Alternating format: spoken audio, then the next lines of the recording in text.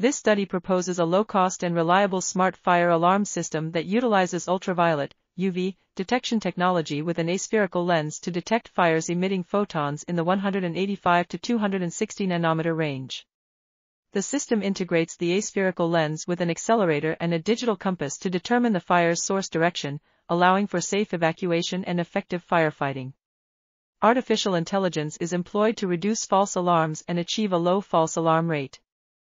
The system's wide detection range and direction verification make it an effective fire detection solution. Upon detecting a fire, the system sends a warning signal via Wi-Fi or smartphone to the user. The proposed system's advantages include early warning, a low false alarm rate, and detection of a wide range of fires. Experimental results validated the system's design and demonstrated high accuracy, reliability, and practicality, making it a valuable addition to fire management and prevention.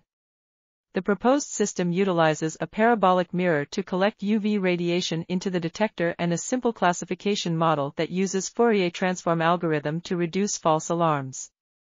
The results showed. This article was authored by Cong Tuan Truong, Thanh Hung Nguyen, Van Quang Vu, and others. We are RTCL.TV, links in the description below.